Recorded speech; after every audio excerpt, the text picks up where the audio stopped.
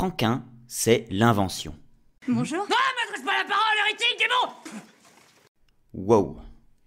Bonjour quand même. Franquin, c'est l'invention. Je veux dire par là que les bandes dessinées de Franquin sont peuplées d'inventeurs, de créatifs, de bricoleurs, bref, d'inventions, et ça méritait bien que je m'y attarde quelques minutes.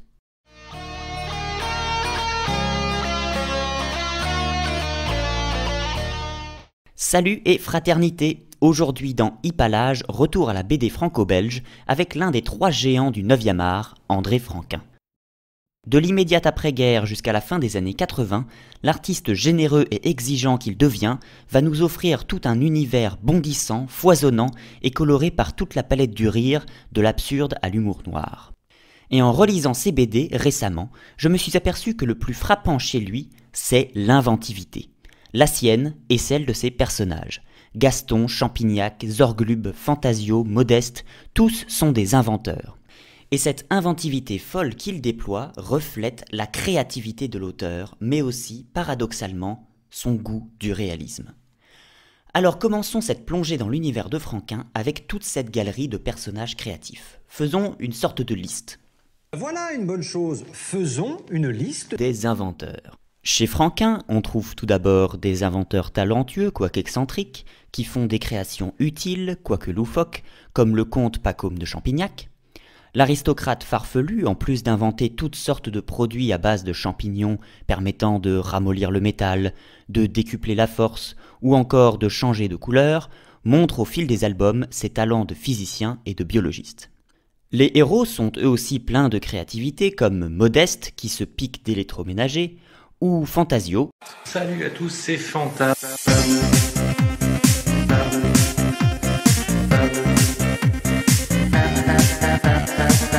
Fantasio donc, qui offre à la série le Fantacoptère, entre autres. Parenthèse, j'ai toujours trouvé malin chez Franquin de rendre Fantasio téméraire et maladroit dans Spirou, mais sérieux et autoritaire dans Gaston. Ça rend très intéressant le personnage. Fin de la parenthèse. Les antagonistes sont aussi de grands inventeurs comme Zantafio, le cousin maléfique de Fantasio, mais aussi et surtout Zorglub, qui invente entre autres la Zorglonde, la Zorglomobile, le Zorglocoptère, mais aussi une langue, la Zorglang, rien que ça. Et bien évidemment, il y a des inventeurs maladroits et gaffeurs, Félix dans Modeste et Pompon, mais surtout Gaston. Ou bien il dort, ou bien il travaille, mais il ne travaille qu'à des choses qui l'amusent, évidemment. Alors il invente des trucs, il fait des machines. Et euh, au fait, il travaille beaucoup parce que pour fabriquer ce qu'il a fabriqué, il faut, vraiment être très bricoleur. Est-ce que, mine de rien, le, le détournement d'objets est, une- quelque chose qui, qui, qui vous excitait fort Ah oui, c'est gai faire des- Oui, oui, oui, se servir d'un objet. Et puis alors amener au bureau des objets qui n'ont rien à, rien à fiche au bureau, qui sont là. Euh, Rien que, d'apporter ça au bureau est déjà une sorte de gaffe et euh, prouve qu'on n'est pas là pour travailler, mais pour jouer. Avec la gaffe, Franquin se lâche complètement et nous offre quasiment une invention par gag. Machine à nouer les cravates, par-dessus à chauffage central, table sans pied, carte à moteur de tondeuse, ballon allégeant un sac à dos, expérience de chimie amusante, casque bilboquet, table de camping automatique, machine à coller des timbres, fauteuil main, parapluie bronzant, monorail, circuit d'aquarium, véhicule profitant d'autres voitures, ce qui me rappelle quelque chose dans un certain film de Zemeckis, mini-tondeuse, anti-imprimante, parc-mètre détourné, et évidemment le célèbre gaffophone et ses déclinaisons miniatures ou électriques. Très bien, ça c'était le plus évident. On trouve dans cette œuvre une foule d'inventeurs dont les créations sont un très puissant ressort comique. Mais je trouve intéressant de faire un pas de plus et de remarquer que ces inventions permettent à Franquin de nous plonger dans une époque. Dans Modeste et Pompon, il nous montre l'émergence de l'électroménager ou de la télévision. Lui qui suivait de très près le design, il invente un intérieur à la pointe de la modernité des années 50 où les rideaux changent toutes les semaines. Et il s'amuse aussi à créer des contrastes avec les décorations vieillottes chez d'autres personnages. Les inventions des personnages de Franquin sont en lien avec son temps. Lire son œuvre, c'est suivre la seconde moitié du XXe siècle, des vieilles automobiles des années 20 à l'apparition de l'informatique, en passant par l'atomium de Bruxelles et la conquête spatiale. Et parfois même, les personnages sont en avance sur leur temps, comme Félix qui invente la télécommande, ou Gaston qui fait le Tour de France en home trainer. Au programme, les 32 derniers kilomètres de la course, soit 50 minutes à haute intensité. Car si la course est virtuelle, l'effort, lui, est bien réel. À gauche, les coureurs sont filmés en plein effort, à la maison. À droite, la compétition virtuelle en mode jeu vidéo restitue les vraies conditions de course. Tout ça nous amène naturellement à constater que les inventions chez Franquin sont réalistes, ou du moins plausibles. Et ça devient d'autant plus flagrant lorsqu'on sait qu'il s'en voulait d'avoir fait un gag de Gaston où un animal entièrement imaginaire apparaissait. André Franquin était très, faisait très attention, il avait un, un génie, euh, une imagination farfelue qui peut aller dans tous les sens, mais il y avait toujours un fil conducteur qui était quand même une forme de réalisme, entre guillemets. Je vous donne un exemple. Mais un jour, euh, Gaston fabrique un pot, il souffle dedans, il apparaît un, oiseau improbable, terme très à la mode aujourd'hui, sur la pile de fenêtre. Un oiseau qui n'existe pas. André m'a dit mille et une fois, qu'est-ce que je regrette d'avoir fait ce gag-là Pourtant, il a ravi bon nombre de lecteurs. Mais pour lui, non, il avait été trop loin. Il était pourtant bien capable de complète fantaisie, comme le prouvent ces petits monstres, mais c'était plutôt un défouloir qu'il ne voulait pas intégrer à son petit monde cohérent. Mais pourquoi des monstres? Comment as-tu fait ton premier Oh, c'est euh, une sorte de défoulement. Je crois que les, les premiers que j'ai faits, c'était. euh, il y avait une de ces, un de ces séminaires, tu sais, de- Oui. un colloque du, du journal. Et ça se passait dans les, Arde- les Ardennes belges, qui sont un pays assez, assez joli. Tu sais, beaucoup de bois de sapins, assez mystérieux, etc. Et alors, pendant les longues discussions, moi, je décroche assez vite dans les longues discussions parce que j'avais toujours mon petit, euh, mon petit carnet et un feutre et je dessinais tout en discutant, en suivant la discussion.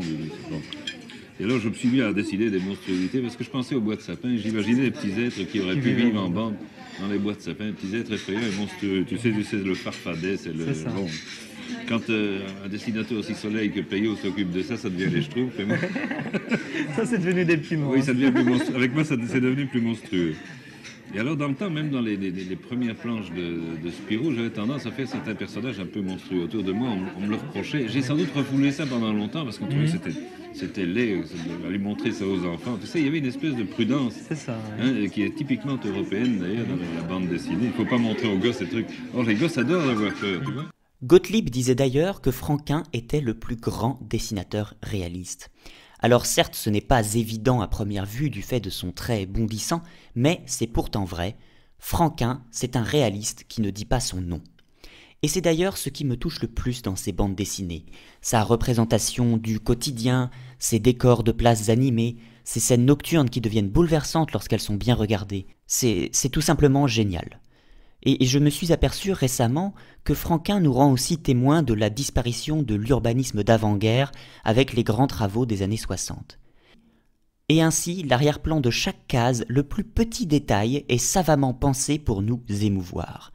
Un album de Franquin, c'est le monde sur une table de nuit. En y réfléchissant, c'est sans doute ça qui m'a frappé lorsque j'étais plus jeune et qui continue à me plaire aujourd'hui. Franquin a un don pour dessiner pour les enfants, mais son trait touche toujours autant les adultes. À votre avis, qu'est-ce que c'est un adulte? Un adulte, c'est peut-être un enfant qui a mal tourné.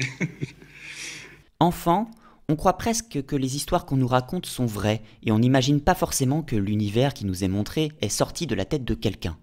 Et lorsque, plus grand, on s'aperçoit qu'une personne a imaginé tout ça, on est saisi d'admiration. En tout cas, c'est comme ça que je l'ai vécu. Ce qui nous amène à Franquin, l'auteur, et à constater qu'il est lui-même un inventeur, comme ses personnages. Franquin est même un démiurge, car il a inventé tout un petit monde cohérent, du village de Champignac à la Palombie, en passant par la rédaction de Spirou qu'il s'amuse à mettre en scène. Il imagine aussi des plantes, des animaux, des pays, des langues. Franquin ne cesse d'inventer. Et il se permet également des crossovers entre ces mondes, comme entre le Petit Noël et le Marsupilami, ou entre Gaston et Spirou. Et sur le plan du récit, il faut aussi souligner que Franquin a inventé une narration qui subsiste encore aujourd'hui, le gag en une page. Parce qu'avant qu'il ne crée Modeste et Pompon dans les années 50, le gag en une page n'existait pas en Europe. Cette série a d'ailleurs permis à Greg et Goscinny d'affiner leur sens du scénario, car Franquin leur a donné l'occasion d'écrire pour lui. Et on est tellement habitué aux gags en une page aujourd'hui qu'on le croit intemporel. Mais c'est bien à Franquin qu'on le doit dans la BD franco-belge. Tous ces petits indices nous montrent que Franquin était en perpétuelle recherche de la nouveauté. On remarque que ses personnages gagnent en profondeur au fil des années, Spirou ne reste pas le héros parfait que la bienséance recommandait, et Gaston passe d'un statut de parasite et de bon à rien à celui d'un doux poète un peu anarchiste. Et puis surtout, quand on parle de l'inventivité de Franquin, on ne peut pas raisonnablement oublier son sens de la case. Mais euh, généreux dans le travail, dans le dessin, donc j'ai tout donné, tout donné, tout donné pour le lecteur. Petite anecdote, et c'est pas la première fois que je la raconte, mais elle est essentielle pour moi. André Franquin, quand il dessinait une case, il se cotait. Donc chaque fois qu'il avait dessiné une case, il se posait la question qu'est-ce que j'ai voulu faire passer comme idée, qu'est-ce que j'ai voulu transmettre, quel est mon message, à quoi sert cette case? Vous savez que lorsqu'il me recevait chez lui pour euh, qu'ensemble on revisite mes pages que j'avais péniblement crayonnées chez moi, il s'excusait de me, de me corriger. Et bon, d'ailleurs, il disait souvent, bon ben euh, là, il me semble, Luc, mais tu t'en rends compte. Je, non, non, je vois rien du tout. Et puis alors bon, c'était d'une évidence rare. Il prenait le crayon, tac. Et il y a des choses encore aujourd'hui. Je, bon, je suis en train de travailler sur un album là. Euh, il y a des choses qui m'apparaissent comme une évidence aujourd'hui, mais qui n'étaient pas du tout. Mais que si je n'avais pas rencontré André Franquin, elles ne me seraient toujours pas évidentes aujourd'hui. Prenez cette case dans l'album Le prisonnier du Bouddha. Eh bien, c'est quasiment un plan de cinéma. Le jeu sur la lumière, la contre-plongée, l'escalier tortueux fixent immédiatement l'atmosphère mystérieuse et inquiétante que le scénario raconte. Franquin avait aussi une grande exigence technique, notamment sur la couleur, et cherchait perpétuellement à innover dans son style. Par exemple, pour les idées noires, il s'était mis en tête de faire les noirs d'une certaine façon. Il était chiant, euh, parce qu'il lui fallait à peu près euh, une semaine pour faire son dessin. Quelquefois dix jours, et notre truc devait sortir toutes les semaines. Ah, en lui de faire un truc moins compliqué. Il disait, pas de problème. Le prochain, tu vas voir, c'est tout simple, c'est un fond noir, l'espace, et mais juste à ce moment-là, il découvre une euh, plume à dessiner qui fait des traits de un dixième de millimètre d'épaisseur. Et si on fait beaucoup de petits points l'un à côté de l'autre, ça donne, disait-il, un velouté. Je disais, ta plume, elle est plus petite que la trame même, que le, système de l'imprimerie. On ne verra pas. Tu, peux aussi bien tout faire au noir, au pinceau, tu en as pour cinq minutes. Oui, mais... Hein. Et donc, ce truc aussi simple a donné un, dessin juteux, certes, qui lui a pris encore plus longtemps que d'habitude. C'était très noir, tout, tout devait être. Et ça prenait un temps. Et je ne dessinais presque jamais au pinceau pour faire du noir. Je voulais que ce soit gravure. La comparaison que fait Franquin dans cet extrait n'est pas abusive parce qu'il existe en effet en gravure une technique appelée manière noire qui consiste aussi à cribler la plaque de milliers de petits trous pour que l'encre y pénètre, ce qui rendra noir. Puis il faut la repolir sur les zones que l'on veut plus claires. Il reste alors à ancrer la plaque et enfin à la passer avec le papier sous une presse. Cette technique permet d'obtenir des noirs profonds et veloutés comme ceux que recherchait l'auteur des idées noires. Franquin est donc très nettement un artiste avec une vision claire de son œuvre et modeste qui n'a jamais mis en avant les autres styles qu'il maîtrisait pourtant parfaitement. Oui, ça ce sont des caricatures que je fais parfois d'après des, photos de revues. Euh, mais c'est fantastique. C'est le metteur en scène John Huston. C'est fantastique. Il y, a, JG qui était. Oh, il y a Sophia Loren à côté. Sophia Loren, oui, oui, oui. C'est un exercice. Souvent, je le fais directement au feutre ou au, pinceau. Comme, euh, je fais des gammes. Ce qui frappe toujours, c'est de voir que des dessinateurs qu'on est habitué à connaître dans un style sont capables de faire tout autre chose.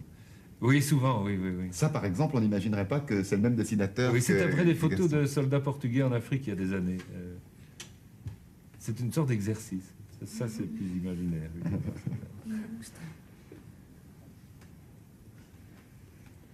Ça, c'est un compromis entre la sorcière de Blanche-Neige et quelques gnomes moyenâgeux. Oui, oui, oui. Ça m'avait été inspiré par des, le, décor des Ardennes belges où il y a des sous-bois, des ah bois de sapin assez mystérieux. des œuvres non figuratives. Oui, là, là, il y a une sorte d'influence. C'est à la fois un peu, euh, un peu africain et, et- et aztèque. C'est un mélange bizarre. Pour conclure d'un mot, disons que Franquin n'a cessé d'inventer. En 50 ans de dessin, de ses décors à sa signature, de sa narration à ses personnages, tout chez lui déborde de créativité. Et c'est encore ceux qui ont travaillé à ses côtés qui en parlent le mieux. est un des rares qui contemple les deux univers, la BD traditionnelle de papa et les, les jeunes euh, révolutionnaires. Tout le monde aime bien Franklin. Je suis convaincu maintenant que le fait d'avoir pu travailler à ses côtés a été pour moi beaucoup plus utile que, que, que 20 ans d'académie, c'est- certain. Moi, j'ai vu dessiner des dessins réalistes extraordinaires. Il a aussi bien pu faire un dessinateur réaliste euh, remarquable. hein. C'est Durer, si vous voulez. C'est c'est au 15e ou 16e siècle, à la Renaissance, il aurait fait un peintre euh, ou un illustrateur, Extraordinaire. Bref, c'est un génie du 9e art qui a fait école et dont l'héritage baigne encore aujourd'hui nos vies. Je me permets donc de résumer son œuvre par cet aphorisme Franquin, c'est l'invention. Et c'est la fin de cet épisode de Hippalage. Merci, merci de l'avoir regardé. Vous êtes de plus en plus nombreux et ça me fait très plaisir. Vous pouvez m'aider en partageant cet épisode, en likant, en le commentant. N'hésitez pas à vous abonner et surtout à lire du Franquin. Et puis sur ce, rideau. Salut à tous, c'est Fantasme.